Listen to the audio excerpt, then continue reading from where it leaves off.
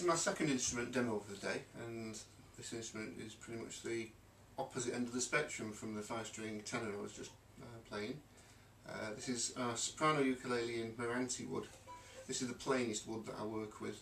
There's no decoration on there, just uh, violin peg tuners, uh, ebony saddle and bridge and that's your lot. But it's a great sounding tone wood and this is, this is what you get.